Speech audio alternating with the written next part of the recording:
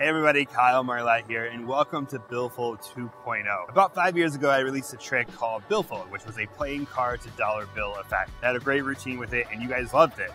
And over the last five years, I've come up with so many fun applications, different presentations, different routines utilizing this gimmick to the point that it's more of a utility device because there's just so many things that you can do with it. So that's what Billfold 2.0 is. It's the best ideas that I've come up with over the last five years, all condensed into one project for you guys. And there's so many fun things on this project. There's the original routine, which is a playing card to bill.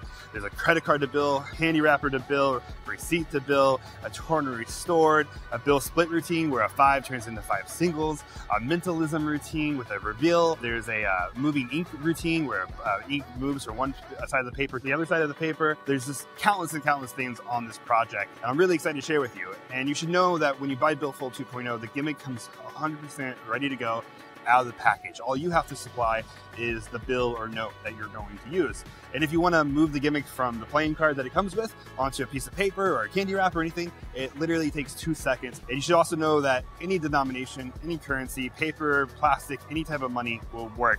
It doesn't matter. Uh, and that's what's so powerful about this. It can literally work with so many things. It's more of the principle and the method and how it works